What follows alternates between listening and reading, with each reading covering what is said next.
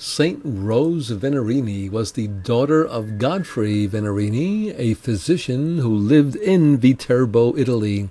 Following the death of her fiancé, she entered a convent. Following the death of her father, she returned home to care for her mother. She invited neighborhood women to pray the rosary in her home and formed a sort of sodality. As these friends had little religious education, she began to teach them.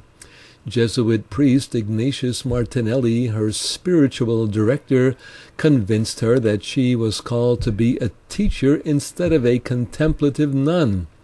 With two friends, Rose opened a free preschool for girls.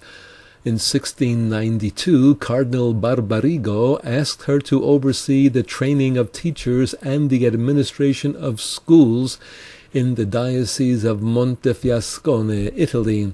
She organized schools in many parts of Italy, including Rome, and by the time of her death there were 40 schools under her direction.